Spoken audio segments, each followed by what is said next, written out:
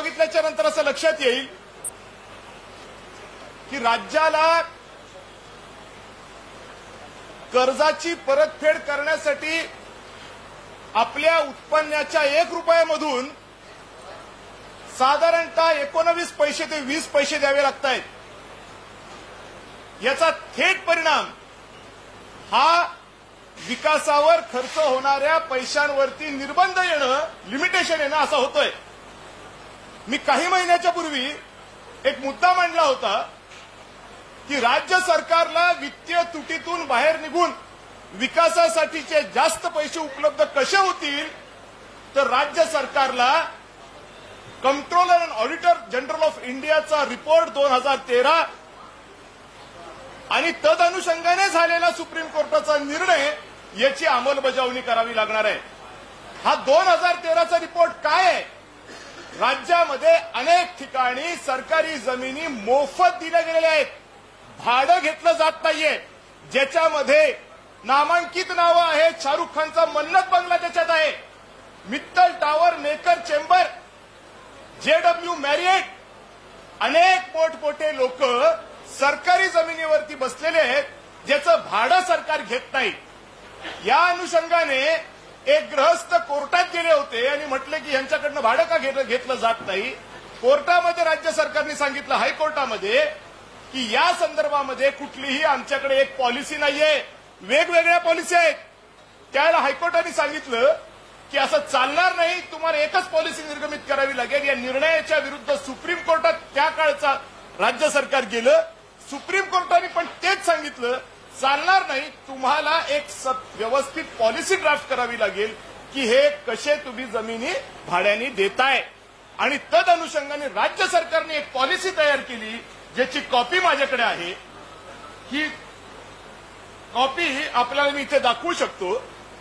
या पॉलिसी ही पॉलिसी निर्माण केल्याच्यानंतर सुप्रीम कोर्टामध्ये राज्य सरकारने लिहून दिलं की साहेब इथून पुढे आम्ही भाडे तत्वावरती ज्या जमिनी देऊ त्या याच पॉलिसीच्या अनुषंगाने देऊ दुसऱ्या कुठल्या पॉलिसीच्या अनुषंगाने देणार नाही. आणि मग सुप्रीम कोर्टाने सांगितलं की ठीक आहे हे सुप्रीम कोर्टाचे आदेश आहेत. याच्यामध्ये राज्य सरकारच्या वतीने असिस्टंट सॉलिसिटर जनरलनी लिहून दिलेलं आहे की आम्ही इथून पुढे जमिनी देत असताना एक विशिष्ट पॉलिसी पाळू. आणि त्या अनुषंगाने सुप्रीम कोर्टाने ही केस डिस्पोज ऑफ केली. आता हे झालं सगळं पण हे इम्प्लिमेंट झालं नाही. आणि पुन्हा एकदा दोन हजार वीसमध्ये म्हणजे पहिला रिपोर्ट दोन हजार तेराचा आणि दोन हजार वीसमध्ये पुन्हा कंट्रोल अँड ऑडिटर जनरलने एक रिपोर्ट काढला ज्याची प्रत माझ्याकडे इथं आहे. स्पष्टपणाने सांगितलं की ही पॉलिसी इम्प्लिमेंट झालेली नाहीये. आता जर ही पॉलिसी इम्प्लिमेंट झाली तर होणार काय आहे? की हे शाहरुख खान सारखे जे वाटतील तितके लोक फुकट राहत आहेत बिना भाडं भरता राहत आहेत यांना भाडं लागू होईल. यांच्या प्रॉपर्ट्या केवढ्या आहेत हे मी तुम्हाला वेगळं सांगायची गरज नाहीये. हे भाडं किती होईल याची स्टॅम्प ड्युटी किती होईल आणि हे हर्षवर्धन जाधव म्हणत नाहीये हे कॅगचा रिपोर्ट माझ्याकडे इथं उपलब्ध आहे. ज्यांना कोणाला पाहिजे असेल त्यांनी हा कॅगचा रिपोर्ट माझ्याकडनं घ्यावा. त्याचबरोबर सुप्रीम कोर्ट आणि दोन हजार वीसचा तो रिपोर्ट जो म्हणतो की हे इम्प्लिमेंट झालं नाही हे सगळे डॉक्युमेंट इथे माझ्याकडे आहेत. आता ही जी पॉलिसी इम्प्लिमेंट करायचा विषय आहे हा पॉलिसी इम्प्लिमेंट करायचा विषय म्हणजे नेमकं काय? तर या पॉलिसीला जी इथे दाखवली आहे याला इम्प्लिमेंट करणं.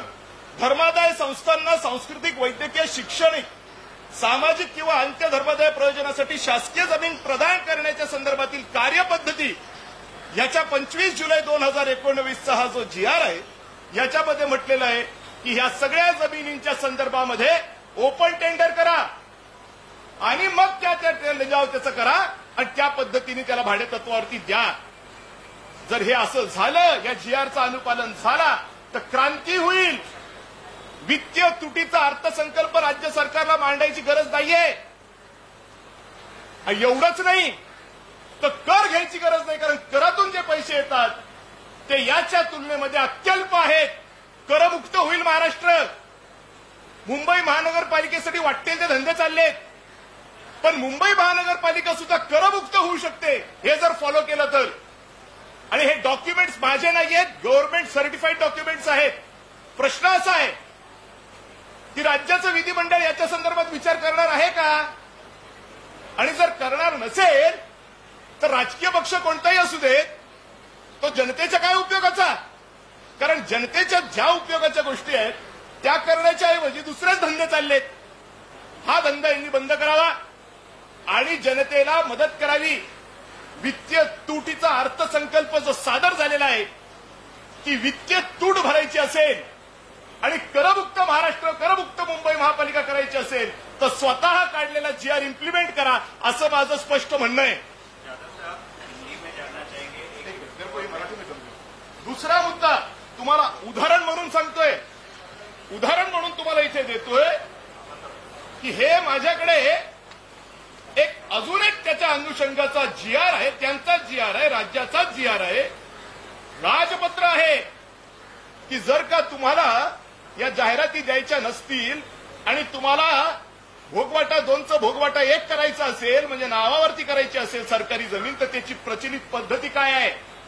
या पद्धतीनुसार जर का इंडस्ट्रीयल असेल कमर्शियल असेल तर साठ टक्के त्या जागेचं गव्हर्नमेंट व्हॅल्युएशन हे पैसे भरून घ्या आणि ती जागा नावावरती करून टाका. हा इथे जी आर आहे बोलबच्चन नाहीये. या तुमच्या तुमच्या चॅनल्समध्ये खरं चॅनल आलं पाहिजे लोकांच्या समोर. आता ह्याच्यात उदाहरण मी तुम्हाला देणार असं आहे. याच्यामध्ये Phoenix mill Raghuvanshi mill Lakshmi mills Phoenix mall जे आपण जातो इकडे मुंबईमध्ये अख्खी जमीन राज्य सरकारची आहे. आणि त्याच्यामध्ये कॅगनी सांगितलेलं आहे. रिपोर्ट आहे माझ्याकडे बघून घ्या. की या जमिनीला रेग्युलराईज केलं गेलेलं नाहीये. मग या धोरणानुसार जर भोगवाटा एक मध्ये ती जमीन आणायची असेल तर साठ टक्के ऑफ द रेडी रेकनर मी नाही म्हणत. राजपत्र म्हणते बघून घ्या. तर रेडी रेकनर या फिनिक्स बिलचा काय आहे हे तुम्हाला दाखवतो. हे स्टॅम्प अँड रजिस्ट्रेशन मधून मी हे डाउनलोड केलेलं आहे डॉक्युमेंट एका शॉपचा rate four lakh eighty three thousand three hundred and eighty per square metre यांची जागा किती आहे? कॅगमध्ये लिहिलेलं आहे. Forty one thousand square metre forty one thousand square metre into four lakh eighty thousand square metre it amounts to almost two thousand crore one single property and out of which 60% has to be collected, that means straight 1200 CR. What are you talking about इथे आतमध्ये काय चांडाल चौकडी चालली देवाला माहिती? आम्ही नाही आज यावेळेला इथे आतमध्ये. असतो तर ठोकून काढलं असतं. जर नव्वद नव्वद पंच्याण्णव पंच्याण्णव हजार कोटी रुपयाचा वित्तीय तूट आमच्या डोक्यावरती बसवताय ज्या वेळेला तुम्हाला विकासासाठी पैसे खर्च करायला नाहीये सगळे पैसे दुसऱ्या कामामध्ये चाललेत तर मग आम्हाला एकतरी सांगा की हे कोण लागतात तुमचे? इथे एवढे पैसे एकच प्रॉपर्टी देऊ शकते. अशा किती प्रॉपर्टी आहेत? कॅगच्या रिपोर्टमध्ये त्याचा सगळ्यांचा उल्लेख आहे.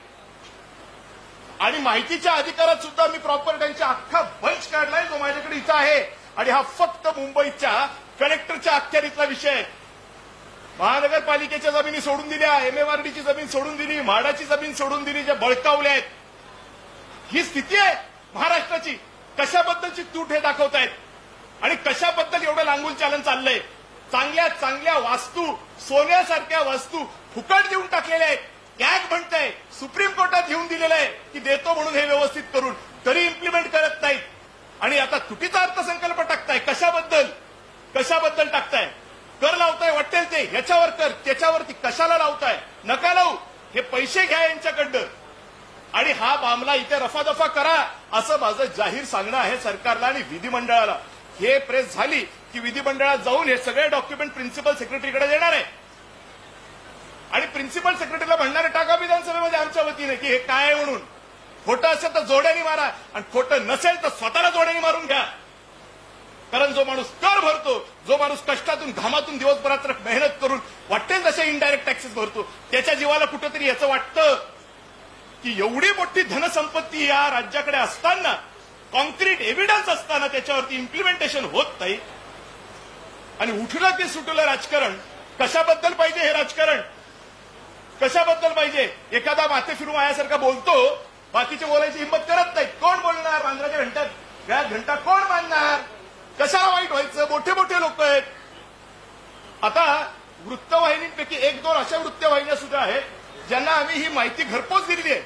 दुर्दैवाने ती बातमी आली नाही. मला माहीत नाही का नाही आली.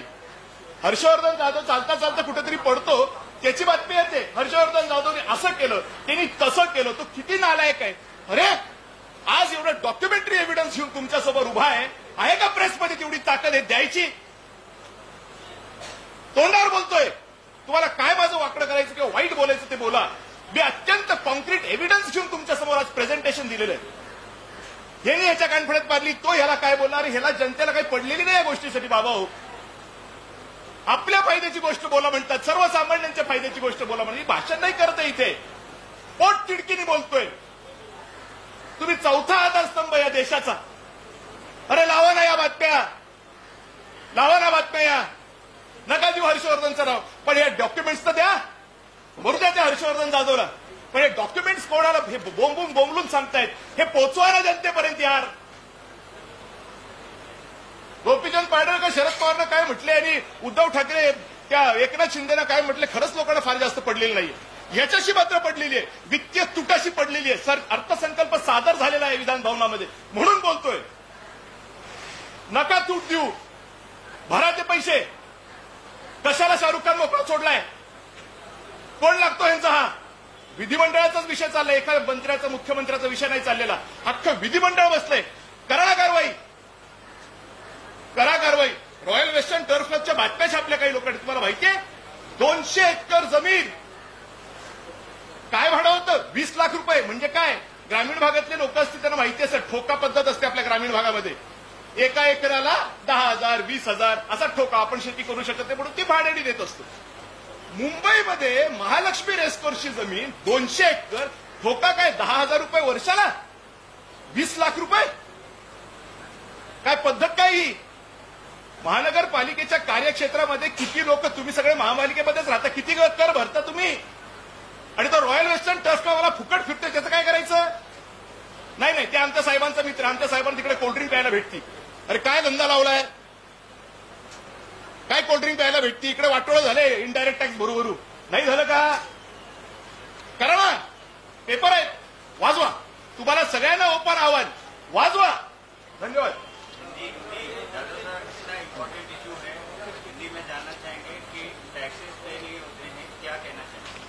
देखिए अभी राज्य सरकार ने जो अर्थसंकल्प सादर किया है अभी उस पर चर्चा चल रही है इसमें तकरीबन 95,000 से ज़्यादा फ़िज़िकल डेफिसिट बताया गया है।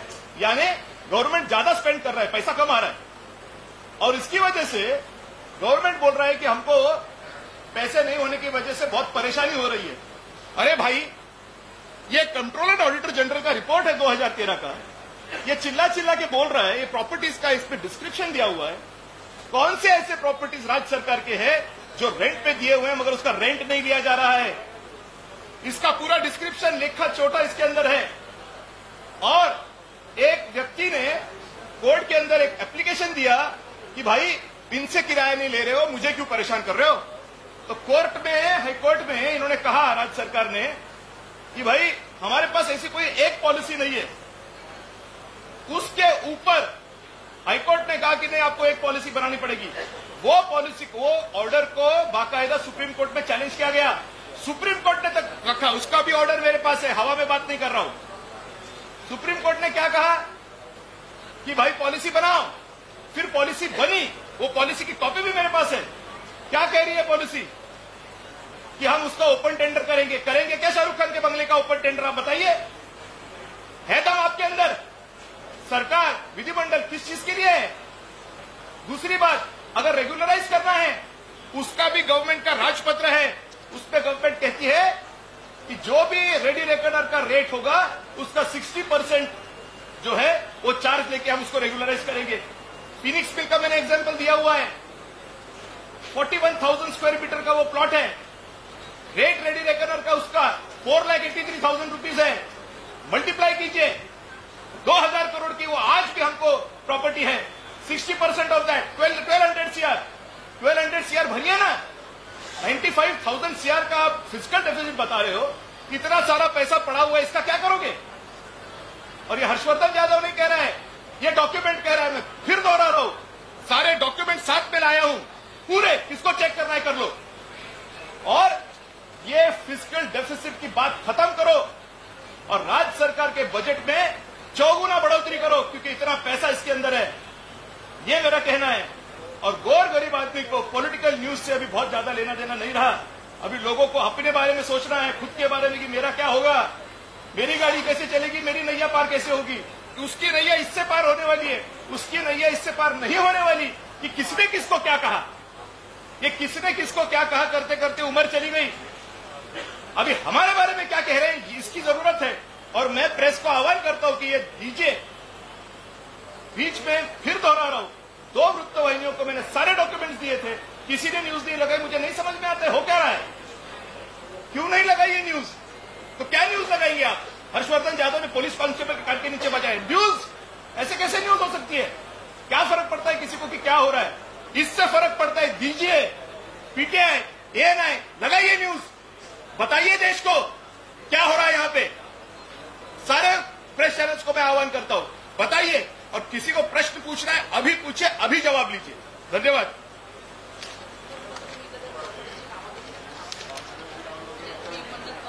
इकडे